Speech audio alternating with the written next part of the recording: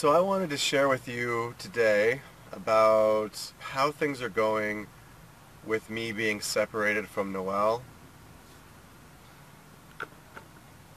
and how it's how I'm going uh, emotionally and physically. I don't know if that's a real thing, but my heart and all that fun stuff. So Noelle recently just left for Tennessee, and she is now in Tennessee.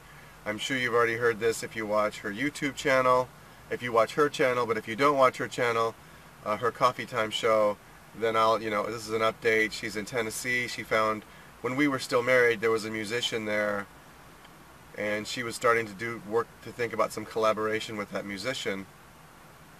And uh, really cool guy. We both um, had communication with him, and he's really cool and very good musician and really good at the sound and the mix and mastering and all that stuff.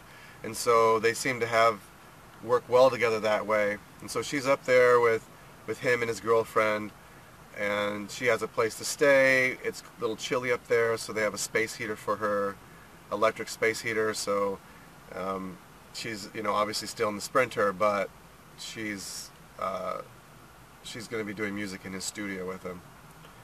So that's really cool, and it was interesting when she did leave. Like she was driving away, we dro- I, I got to I, I, we saw each other for just a few minutes.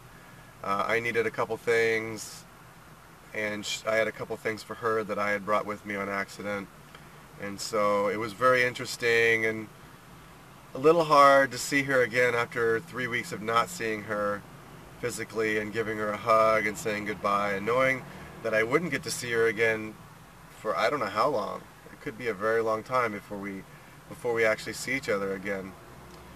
Um, but thankfully I was at work and I was I was taking a break from work and so it was pretty busy at work and so I only had a few minutes and so that's a real godsend that I didn't have you know an hour to sit with her and talk and maybe try and or have her try and hold my hand and you know, of course, you know, like it.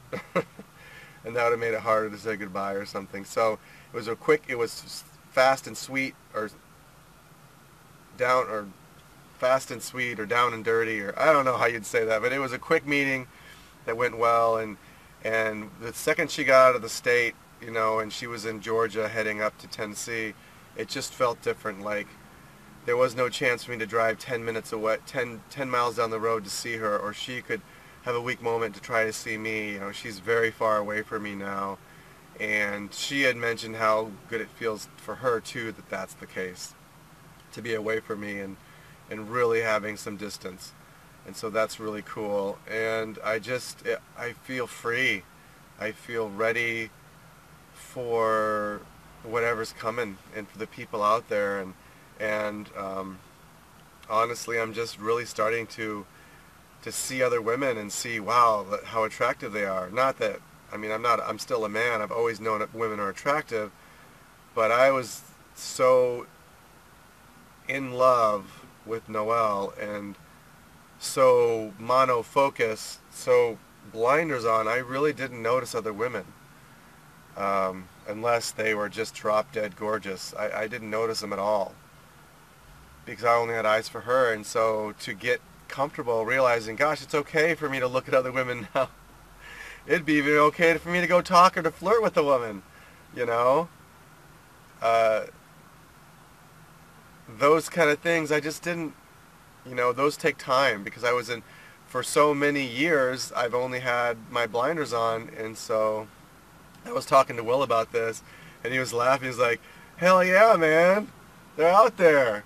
What are you doing? So I'm starting to and and it's I want it to be real and natural, and I, I don't want to just I've talked about not wanting to jump in into another relationship at all in any way, and so for me this is good. It's it if it it needs to, it needs to take time to get comfortable around women again and seeing them as objects of desire where I never did before. So it's it, it, it's going to take the time it takes, and I'm glad it's taking this time so that I can get back into it in a good way so that I don't do something unhealthy. Um, maybe fun, but something unhealthy I don't want to do. So, and I need to find myself, which is the most important thing. So it's good to have her away, and it just feels clean. It feels like Florida's all mine now, and there's, I don't have to share it. I don't have to think about her being there with me, and just really being